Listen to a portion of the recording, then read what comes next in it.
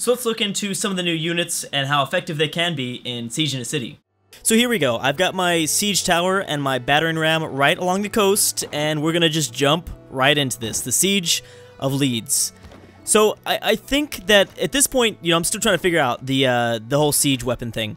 So this is how the siege weapon weapons work. Like I said, they are they kind of act as like kind of civilian units in a sense, um, and they're going to grant bonuses for surrounding units. So whether that be actually, you know what? I don't know if it's melee attacks only. I'm not sure if they grant bonuses, and unfortunately, like I said, the tooltip will not be working. Because I'm, I'm assuming they don't want to give away those values just yet. Uh, it was working earlier on the series with some of the lower tier units, uh, but not with uh, these kind of mid tier stuff. So uh, we, we, we're still kind of thinking if uh, we're still trying to figure out if you're going to get a uh, also like an archer bonus, things like that, range bonus or, bonus, or if it will be just melee only. Uh, okay, so I'm trying to attack some of these this these chariot archers. They're also going to have to deal with a barbarian scout, so hopefully that distracts them a little bit. I'm assuming that it should a little bit. Um, it turns out that my own heavy chariot ended up being, I think, pretty useful. Melee attack of 28 uh, compared to my other melee units. I mean, warrior starts off at 20. I think the spearman was like at 26. We'll actually be able to confirm that very soon here. But I was, again, disappointed by the fact that I couldn't figure out if we were going to see uh, penalties from horses for attacking cities. Those are huge, small details. Huge, small details that will really affect the game quite a bit. Um, I also didn't mention this is standard difficulty. There is no, uh, there was no other difficulty level to choose from, and I don't think I'd probably choose anything anyways because uh, it's not obviously if if standard is still getting balanced, deity and uh, you know things like that is definitely not going to be there. Definitely not. Uh, again, the Japanese. Watch the Japanese. What are the Japanese doing? See, look at that. Okay, so that notification right there showed me, I think, a new gossip tip from somebody, whether that be England, China, or Japan. That went way too fast. Way too fast. I, I'm, I'm assuming that that's not because I've seen video footage of that gossip um, that that gossip notification staying on the screen for a lot longer. I'm assuming this was just a part of this build. One man's magic is another man's engineering. This, I'm assuming, uh, was a bug. It is heartening to see another just as uh, pious as myself. She should she shouldn't be saying that, right? Because I'm at war with her. Probably not. Probably not. But we're both, you know, we are both generating quite a bit of faith. I believe that she gets up a uh, a religion, and here I go approaching with my battering ram. So here we are, uh, trying to set up, again, that extra movement too, really helpful. Um, that ended up really helping me. Figured I was going to lose this archer, but, you know, I, I kind of assumed that I was going to lose units no matter what. Uh, it, yeah, there was really nothing that I could do about that. So yeah, Spearman confirmed for 25 combat strength. Uh, right now, right now, values will change. Values will, will definitely change. Um, so the heavy chariot seems like it'd be worth it since it has extra combat strength and it can move three tiles away. So theoretically, it does it does seem pretty useful uh, at the moment. At the moment, commercial hub pretty useful for um, some of those amenities. Uh, again, you know, my grasp of the district system was not the best by the end of the campaign. I, I really uh, oh Shrine was offering two two faith. That's interesting. Um, my grasp of of the uh, yeah the districts and stuff like that. I I need to get better. And and part of the problem was because there's this point in the campaign where I was like, why don't I have any buildings to build? And that's because you need to start up a damn district, Drew. Duh. Um, part of it is that I was really on the fence about when to start building districts and what districts to prioritize. I'd imagine the science di district to be probably high priority. That's why that was the first thing I built. But there's also an entertainment district. Um, there's a, like an economic district. There's a whole bunch. There's 12 of them. I think there's 12 districts, or was there 13? Some of them are for like special things, like for a science victory, you have like the spaceship factory uh, district. Oh man, reinforcements are coming. When I saw this, I was like, oh crap. That is not good. My archers luckily survived that bombardment. and and we're fighting barbarians still. So, uh, like I said, we only found a few. Uh, we only ended up finding Japan, China, and England.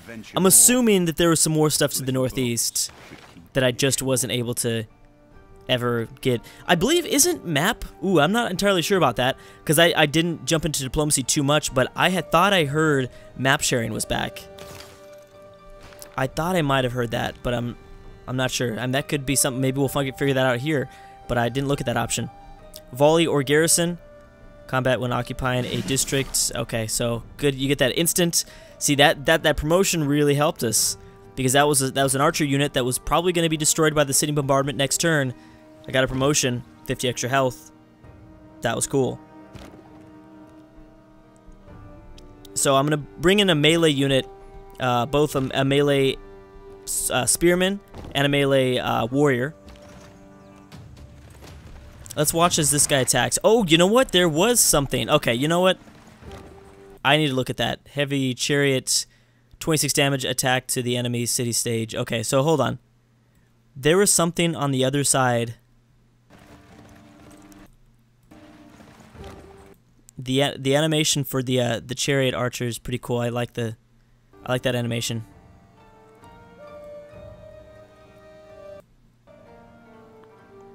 Okay, so so here we go.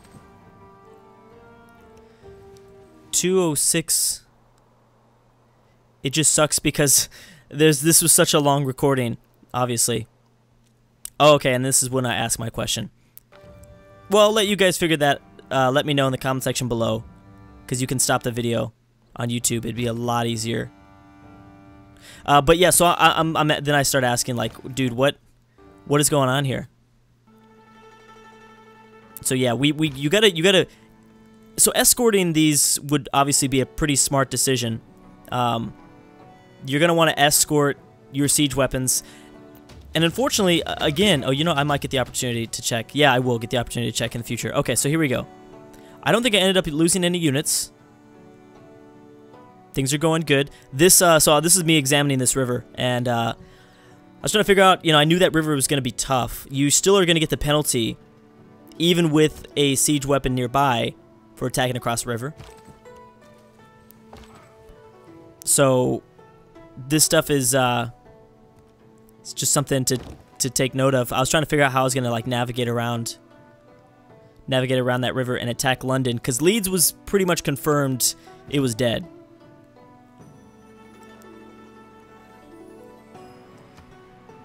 And I have to go to the next turn. Okay. Yeah, so Leeds is mine. That's a five population city again. Um, well, we'll be able to kind of look over the city options. There is a raze option, but, you know, without happiness, you can really conquer a lot.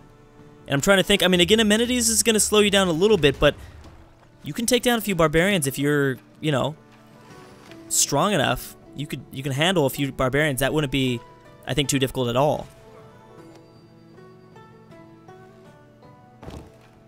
Okay so this city is ours. And I, am noticing that I'm having amenity uh, amenity problems. I think with maybe New Orleans. I'm not sure if that is what that uh, notification is telling me. Here's continents. So here's uh, this is some things that this is some something that I you know again this lens is not going to be too cool, but uh, the cool thing is you get to name the continent. Now right now this continent is named America, and that's just by coincidence. But uh, there is a randomly generated name for every continent uh, in the map. So I thought that was pretty cool. I'm going to go forward a little bit because I know that I'm talking to somebody right now. Clearly. All right. I'm also trying to figure out how I can how I can pillage this trader. Uh, the problem is the scout is in the way, and I kind of just want to take the city itself. So I'm thinking, uh, I don't know. I, yeah, I, I don't, I don't know if I want to. Archers tent seemed to do quite a bit of damage. I was actually pretty surprised. Actually, no. Oh, nope, we aren't seeing it. Never mind. I thought there was a little penalty. I thought there was something on this side. But yeah, no, we, we don't see anything. Well, that's too bad. Also, this is a heavy chariot. It's not a regular horseman. It's not like a knight. Or if that makes a difference. But the heavy chariots are melee units. And the city is ours. And we don't have to worry about amenities. I, I, was actually dealing with amenity problems for most of the game, too. I remember that notification. I remember that notification, like, being up from this point on for quite a long time, you know, depending on the city and stuff like that it never ended up being that big of a deal. Again, that could change, but I like it. Uh, I, I, really like it. I think that the, they're probably going to have to do some sort of balancing in terms of playing tall. I, I don't think that...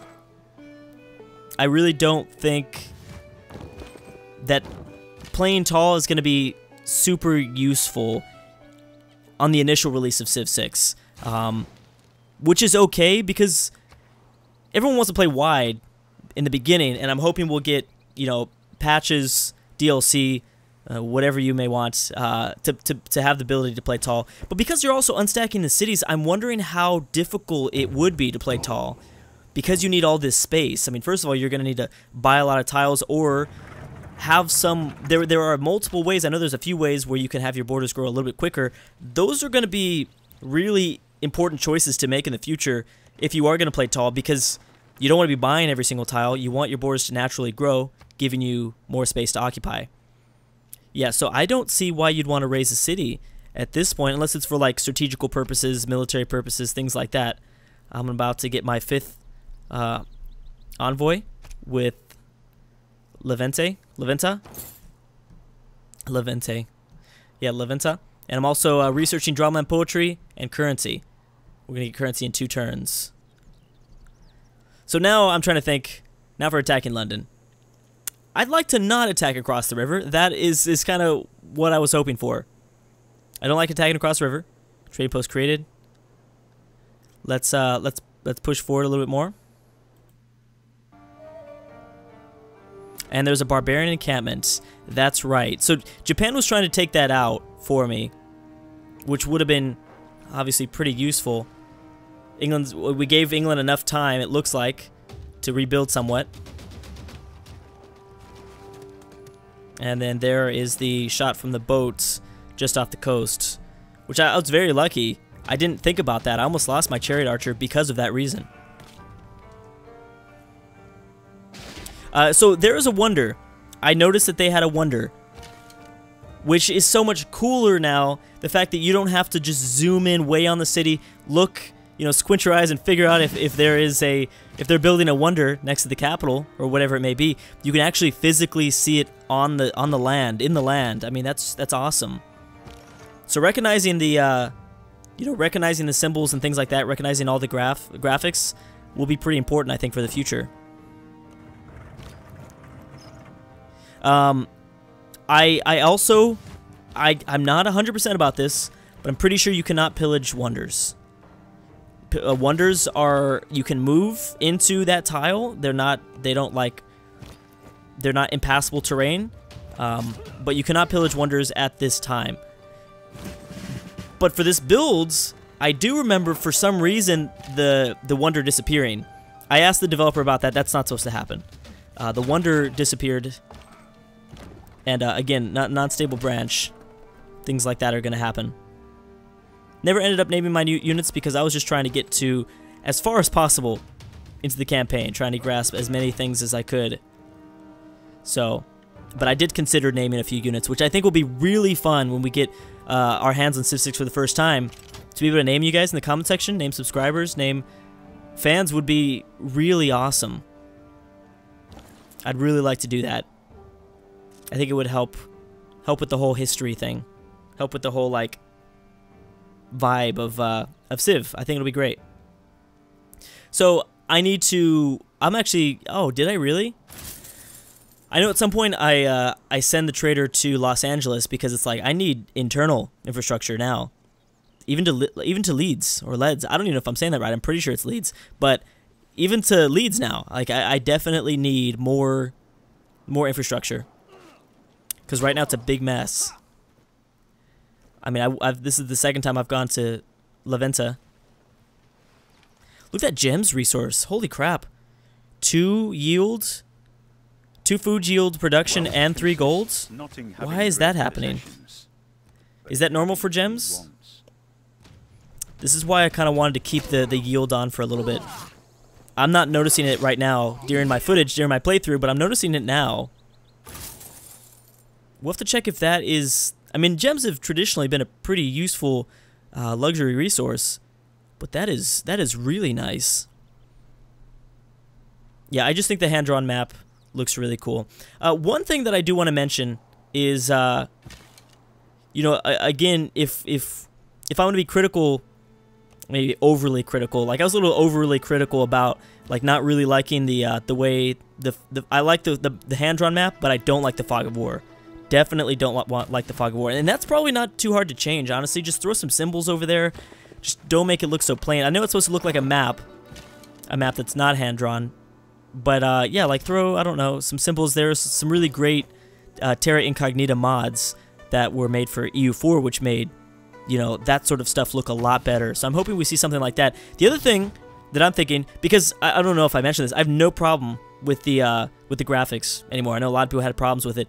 It, it is it is completely grown on to me, and uh, and uh, now you know anything else, very minor suggestions. I, I, I personally like the black UI better from Civ 5. You know, Civ 5 has the black bar that comes across. Most is, uh, if you really look at Civ 5, a lot of dark colors in the UI, I mean. Um, and I, to be honest, I kind of wish they went back to that. You know, there's a lot of blue. There's a blue up in the in the top bar. There's blue down here. You know where the spearman is. Everything is just kind of a lot of blue, and I'm I kind of wish they would go back to just black. Civ 5 looks sleek. That that UI looks really good. I think, um, but we'll see. Okay, so it looks like I got somebody else. We got a great general. Perfect. Uh, again, I didn't know. I didn't know how to get a, a, a prophet because yeah, I needed great people. So the art of war, I could have done a writing with the great general. That's interesting. I didn't notice that the first time I played. He's got four movement. Again, values will not be given. We don't know like exactly how much uh, additional strength generals will be giving. Even if they showed us something, I, I would say take it with a grain of salt, though. Like, even if we did see a a definitive a definitive number, I, I wouldn't you know I wouldn't trust it too much. Yeah, those gem resources look pretty good. But then again, so do the sheep down below. I believe that's sheep. Well, I mean, it's plus production and food. The culture would have been a pretty nice thing to have had, though, from the Natural Wonder. Anyways, guys, now we're going to go take London. We'll see what happens in the next one. So we've captured our first city in Civ 6. It feels good. It feels really good. Thank you guys for watching, and I'll see you guys next time.